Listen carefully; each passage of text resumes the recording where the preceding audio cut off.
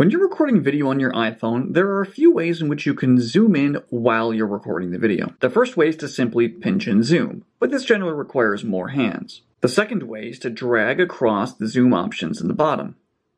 And as you can see, you can zoom in pretty smoothly. The third and least known about way is that you can drag up and down from the record button to zoom in. This way requires the least amount of hands and gets you the smoothest zoom.